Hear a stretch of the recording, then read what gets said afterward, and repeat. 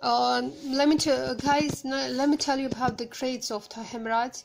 And the four grades grade 1 2 3 and 4 and they're very easy to understand.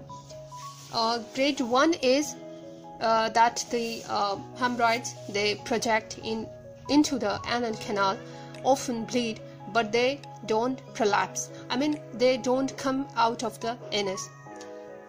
Uh, it is shown in the diagram as well uh, let me focus it.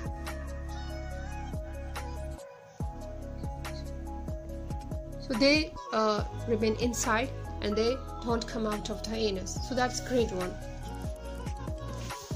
grade 2 is when they protrude beyond the anal wall with straining or defecation but reduce spontaneously.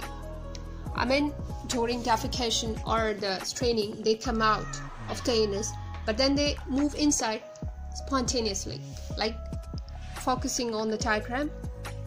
Here they may come out but then they move inside move back after defecation spontaneously. So this is grade 2 now grade 3 is when they come out or they protrude outside the anus but they don't uh, reduce spontaneously and you have to re reduce them manually.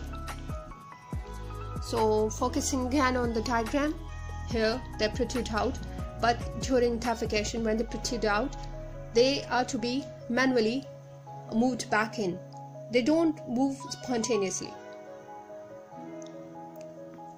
Then we have the grade 4 and that is they extend outside the anus anus and are not able to be pushed back manually.